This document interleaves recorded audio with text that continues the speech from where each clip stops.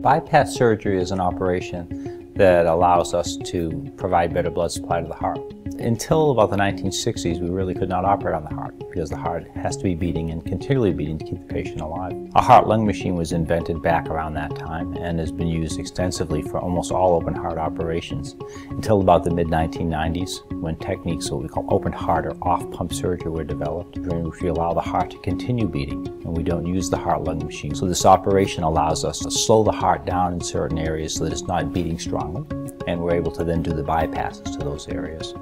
Bypass surgery is usually reserved for the sickest patients, patients who have weak hearts, patients who have many of their vessels diseased, particularly if they're diabetic and particularly if they have poor heart function, they become good candidates for heart surgery. I had a colleague who once said that uh, a certain amount of pain has to be encountered during the operation and off-pump surgery transfers that to the surgeon because it's a much more challenging operation. What happens for me is that I'm able to provide this operation to a patient and allow them to recover faster and it allows us to operate on some very sick patients who might not otherwise tolerate the heart-lung machine.